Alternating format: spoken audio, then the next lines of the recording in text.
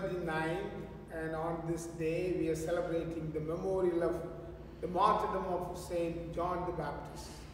And in this Eucharistic celebration, we are asked to pray for the intentions of Cindy Ionosi.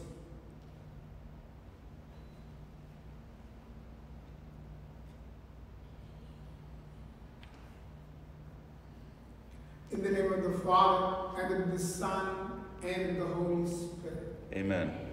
The grace of our Lord Jesus Christ, the love of God, and the communion of the Holy Spirit be with you all. And with your spirit.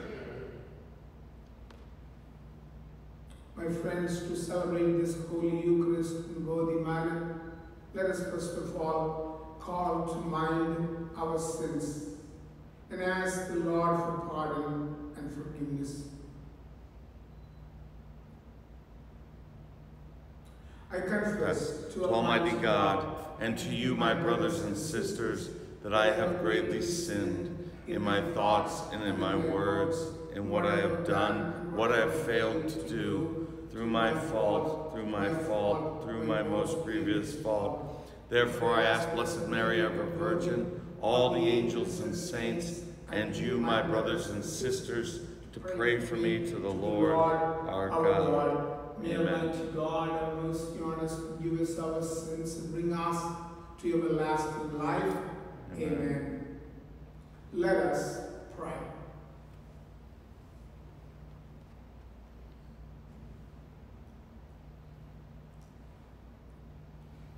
O God, who willed that St. John the Baptist should go ahead of your Son, both in his birth and in his death, grant that as he died martyr for truth and justice, we too may fight hard for the confession of what we what you teach. Through our Lord Jesus Christ, your Son, who lives and reigns with you in the unity of the Holy Spirit, one God forever and ever. Amen.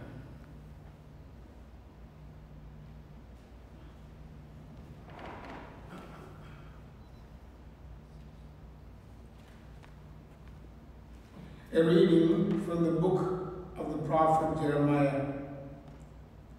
The word of the Lord came to me, thus, "Go- gird your loins, stand up and tell them all that I command you. Be not crushed on their account, as though I would leave you crushed before them. For it is I this day who have made you a fortified city, a pillar of iron, a wall of brass against the whole land, against Judah's kings and princes, against its priests and people. They will fight against you, but not prevail over you. For I am with you to deliver you, says the Lord. The word of the Lord. Thanks be to God. Responsorial Psalm, your response. I will sing your salvation. I will sing your salvation. In you, O Lord, I take refuge. Let me never be put to shame. In your justice, rescue me and deliver me. Incline your ear to me and save me, O Lord, your response. I will sing your salvation. Be my rock of refuge, a stronghold to give me safety. For you are my rock and my fortress. O my God, rescue me from the hand of the wicked. Your response. I will sing your salvation. For you are my hope, O Lord, my trust, O God, from my youth. On you I depend from birth. From my mother's womb, you are my strength. Your response, I will sing your salvation. My mouth shall declare your justice, day by day your salvation. O God, you have taught me from my youth until the present. I proclaim your wondrous deeds. Your response, I will sing your salvation. Alleluia, Alleluia.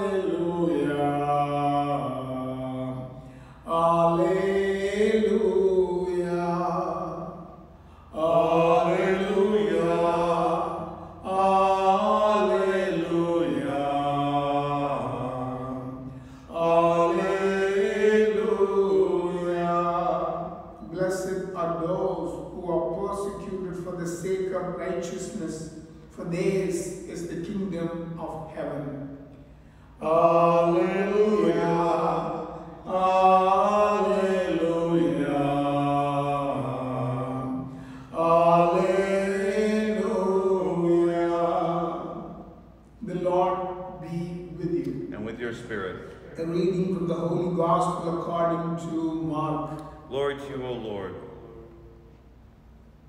chapter 6, verses 17 to 29.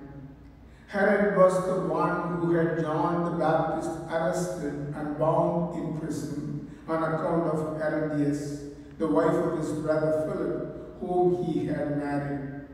John had said to Herod, It is not lawful for you to have your brother's wife. Herodias harbored a grudge against him and wanted to kill him, but was unable to do so.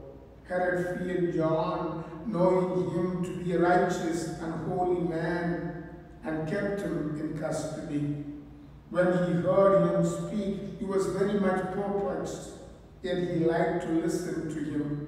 She had an opportunity one day when Herod, on his birthday, gave a banquet for his courtiers, his military officers, and the leading men of Galilee. Herodias' own daughter came in and performed a dance that delighted Herod and his guests. The king said to the girl, Ask of me whatever you wish, and I will grant it to you. He even swore many things to her. I will grant you whatever you ask of me, even to half of my kingdom. She went out and said to her mother, What shall I ask for? She replied, she replied, The head of John the Baptist. The girl hurried back to the king's presence and made her request. I want you to give me at once on a platter the head of John the Baptist. The king was deeply distressed, but because of his oaths and the guests, he did not wish to break his word to her. So he promptly dispatched an executioner with orders to bring back his head. He went off and beheaded him in the prison. He brought he brought in the head on the platter, on a platter and gave it to the girl. The girl in turn gave it to her mother.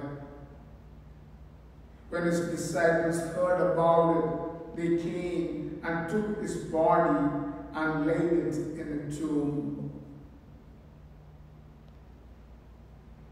The Gospel of the Lord. Praise to you, Lord Jesus Christ.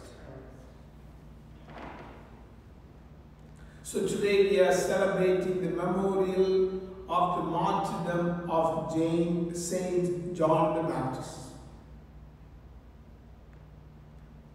The unholy alliance between King Herod and Herodias and her daughter led to the beheading of John the Baptist. And when I was reflecting about this martyrdom of um, St. John the Baptist, you know, I thought about three brief thoughts. Three brief thoughts came to me, and I would like to share with you these three thoughts. Number one, John the Baptist was a faithful witness of and to truth and justice. We read in the gospel today that Herod feared John, knowing him to be a righteous and holy man. Just imagine this. Herod was a very powerful king, had thousands of soldiers behind him, yet he feared this man who was nothing. Why? Because he was righteous. He was a man of God. He was a man of truth. He was a holy man. John the Baptist spoke truth to power. So the power, the powerful king beheaded him and killed him. John the Baptist did not he was not afraid to proclaim the truth. He was not afraid to tell the truth as it is to the king, even though he was powerful. So he died as a powerful and faithful witness to truth and justice that is Christ. Because Jesus is the total embodiment of truth and justice. So, John the Baptist is a faithful witness to the truth and justice that is Christ. Number two, he was a model for a Christ-centered life. We read in the Gospels that when he started baptizing people and Jordan, people started coming to him and they asked him, Are you the one who is to come? Or we have to wait for another one? So John the Baptist said to them, I baptize you with water. But the one who is going to come after me is mightier than me, and he is going to baptize you with Holy Spirit and fire. And he said these words, which are now famous words of uh, John the Baptist. He must increase, and I must decrease. Wow. Christ must increase in my life as I journey along, and I, my ego, my pride, my way of thinking should decrease more and more. He truly led a Christ-centered life, so he is a true model for Christ-centered life for all of us. And number three, his whole life was a pointer to Christ. He came to prepare the way of the Lord, and he did indeed. His whole life was pointing to Christ. You know, when he was baptized in Jordan, Jesus passed by, we read in the Gospels. And when he saw Jesus passing by, walking by, he said to the people, Behold the Lamb of God he was the one who introduced Jesus to the crowd. He pointed to Christ. Not only to his words, but his whole life was pointed to Christ.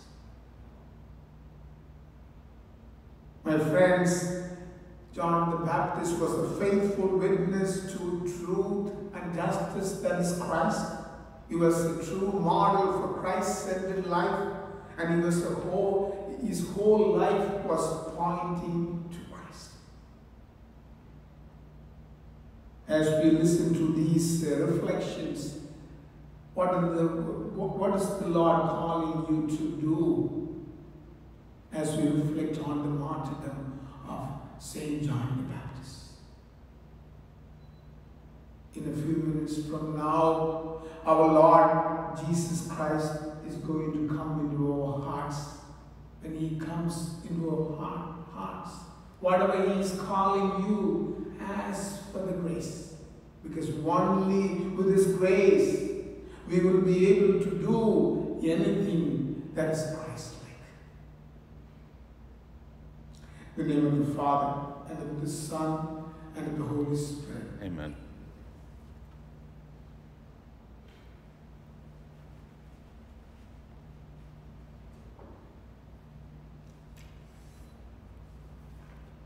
Let us now lift up our prayers and petitions to our Heavenly Father, who is slow to anger, abounding in love. For the church, all the members and leaders of the body of Christ may be grow in faith and love and justice. We pray to the Lord. Lord, hear our prayer. That we, as Christians, as followers of Christ, may not be afraid of telling the truth and standing for justice, even if it costs a lot of things in our lives. We pray to the Lord. Lord, hear our prayer. For the nations, may all peoples work together for the establishment of peace and justice for all. We pray to the Lord. Lord, hear our prayer. For blessings on our labors, that our work be fruitful. We pray to the Lord. Lord, hear our prayer. For all who are burdened, may they find relief and strength in the Lord. We pray to the Lord. Lord, hear our prayer. For the realization that all life is a blessing to be cherished from conception to natural death. We pray to the Lord. Lord, hear our prayer. And for the intentions of Cindy Iannusi, we pray to the Lord. Lord, hear our prayer. And for all the intentions that lie in the bottom of our hearts, unexpressed and unknown,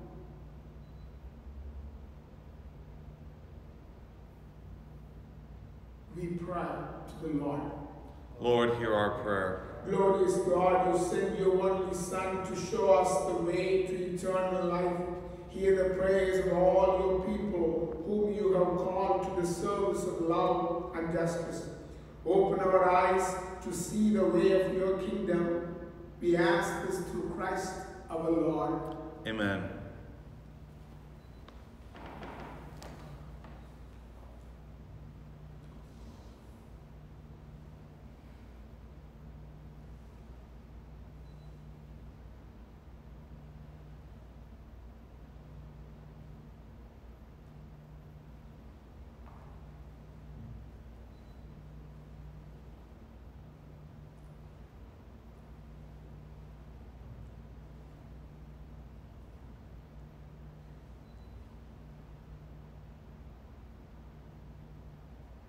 Blessed are you, Lord God of all creation, through your goodness we have this bread to offer, which has been given and human hands have made to become for us the bread of life. Blessed be God forever.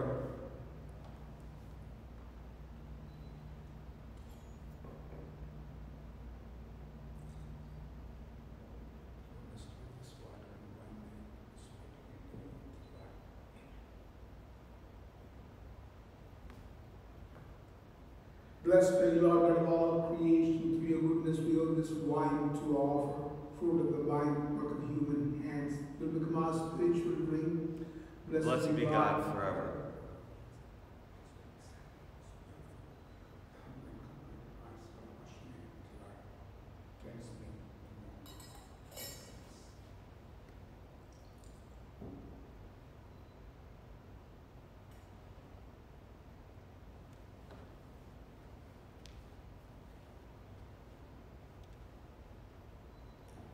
Pray, my brothers and sisters, that my sacrifice and yours may be acceptable to God, the Almighty Father. May the Lord accept the sacrifice at your hands, the praise and glory of his name, for our good and for all his holy church. Through these offerings which we bring you, O Lord, grant that we may make straight your paths, as taught by that voice crying in the desert, St. John the Baptist, who powerfully sealed his teaching by the shedding of his blood, through Christ our Lord. Amen. The Lord be with you. And with your spirit, Lift up your hearts. we lift them up to the Lord. Let us give thanks to the Lord our God. It is right and just, It is truly right and just, our duty and our salvation, always and every way to give you thanks, Lord, Holy Father, Almighty and eternal God, through Christ our Lord. In this precursor, Saint John the Baptist, we praise your great glory, for you consecrated him for a singular honor among those born of women. His birth brought great rejoicing, even in the womb he leapt for joy at the coming of human salvation. He alone of all the prophets pointed out the Lamb of redemption, and to make holy the flowing waters, he baptized the very author of baptism, and was privileged to bear him supreme witness by the shedding of his blood. And so, with the powers of heaven, we worship you constantly on earth, and before your majesty, without end, we acclaim. Holy, holy, holy, Lord God of hosts, heaven and earth are full of your glory. Hosanna in the highest. Blessed is he who comes in the name of the Lord. Hosanna in the highest.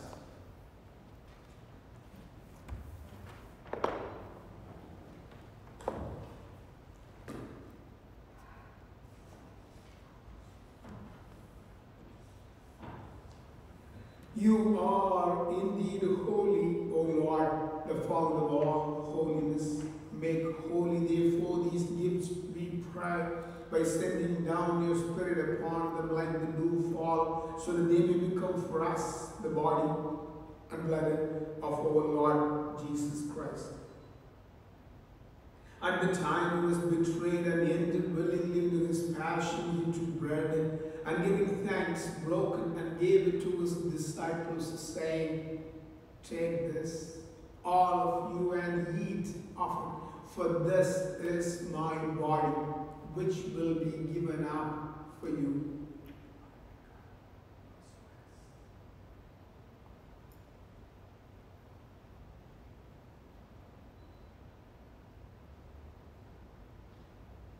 In a similar way, when supper was ended, he took the chalice and once more giving thanks, he gave it to his disciples, saying, Take this, all of you, and drink from it, for this is the chalice of my blood, the blood of the new and eternal covenant, which will be poured out for you and for many for the forgiveness of sins.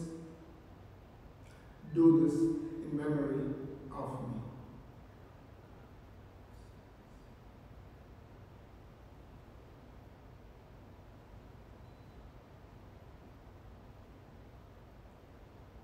The mystery of faith. We Proclaim your death, O Lord, and profess your resurrection until you come again. Therefore, as we celebrate the memorial of his death and resurrection, we offer you, Lord, the bread of life and the chalice of salvation, giving thanks that you have held us worthy to be in your presence and minister to you. Humbly we pray that partaking of the body and blood of Christ, we may be gathered into one by the Holy Spirit. Remember, Lord, your church spread throughout the world and bring her to the fullness of charity, together with Francis, our Pope, and Frank, our Bishop, and all the clergy. Remember also our brothers and sisters who have fallen asleep in the hope of the resurrection, and all who have died in your mercy. Welcome them, and in the light of your face, have mercy on us all, we pray that with the Blessed Virgin Mary, Mother of God, Blessed Joseph's spouse, with the blessed apostles, and all the saints who have pleased you through all the ages, we may merit to go age to eternal life, and may praise and glory for you through your Son, Jesus Christ. Through whom and with him and in O God Almighty Father, in the unity of the Holy Spirit, all glory and honor is yours forever and ever. Amen. At the Savior's command and formed by divine teaching, we now need to say, Our Father, who art in heaven, hallowed be thy name. Thy kingdom come, thy will be done on earth as it is in heaven. Give us this day our daily bread, and forgive us our trespasses, as we forgive those who trespass against us. And lead us not into temptation, but deliver us from evil. Deliver us, Lord, we pray, from every evil. Graciously grant peace in our days, that by the help of your mercy we may be always free from sin and safe from all distress, as we wait the blessed hope and the coming of our Savior, Jesus Christ. For the kingdom and the power and the glory are yours, now and forever. Lord Jesus Christ, who said to your apostles, Peace I leave you, my peace I give you. Look not on our sins, but on the faith of your church, and graciously grant her peace and unity in accordance with your will, who live and reign forever and ever. Amen. The peace of the Lord be with you always. And with your spirit. Let's offer each other the sign of Christ's peace. Peace be with you.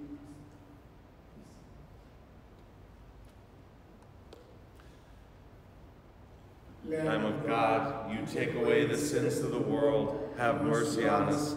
Lamb of God, you take away the sins of the world, have mercy on us. Lamb of God, you take away the sins of the world, grant us peace.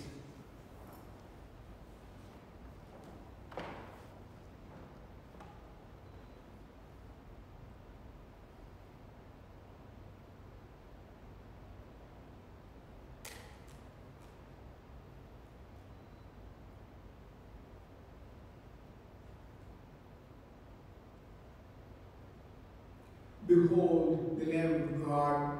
Behold him who takes away the sins of the world. Blessed are those called to the supper of the Lamb. Lord, I am not worthy that you should enter under my roof, but only say the word, and my soul shall be healed.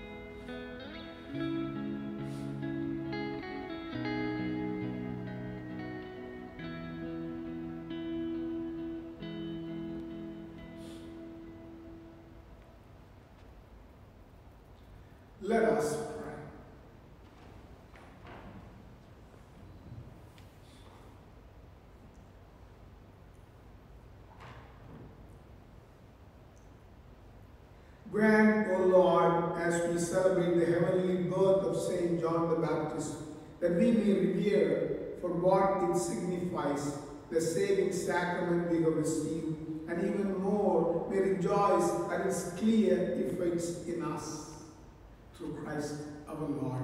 Amen. Thank you for watching this um, um, live stream mass, and I also want thank Chris Greer for his faithful stewardship. Um, we continue to pray for you and for your families. Stay safe and stay well. God bless you. The Lord be with you. And with your May spirit. Almighty God bless us all, the Father, Son, and the Holy Spirit. Amen. The Mass is ended. Go, love, and serve the Lord. Thanks be to God. Please join me now in the prayer to Saint Michael. Saint Michael, the archangel, defend us in battle. Be our defense against the wickedness and snares of the devil. May God rebuke him, we humbly pray. And do thou, O Prince of the heavenly host, by power of God, thrust into hell Satan and the other evil spirits who prowl about the world for the ruin of souls. Amen. Have a wonderful day and have a nice weekend.